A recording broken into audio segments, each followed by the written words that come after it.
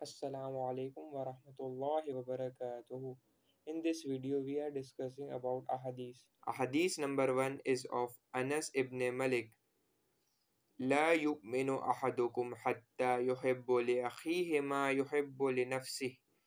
None of you has faith until he loves for his brother what he loves for himself.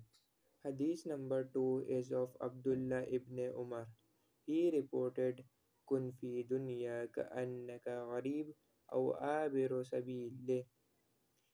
Be in the world as though you were a stranger or a traveler along a long path. Hadith number three is of Abu Huraira. He reported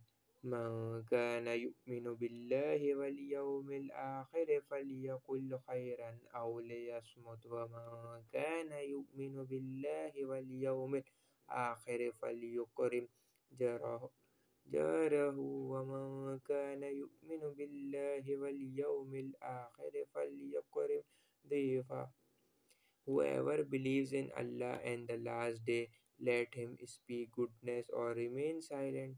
Whoever believes in Allah and the last day, let him whoever believes in Allah and the last day, let him honor his guest.